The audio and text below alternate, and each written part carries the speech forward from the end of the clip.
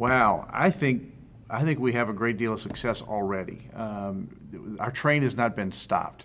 So uh, what I see is, what needs to happen is, is that my hope, my, my deepest heart's desire for this process is, is that hundreds of people come into this Imagine Brevard Center and truly look at it as a clean palette, look at it as something uh, with nothing there, and they design Brevard the way they want. You know, it's amazing. We have mountains, we have water, we have art, we have music, we have great people, we have a historic downtown, we have a dynamic, you know, areas of the community.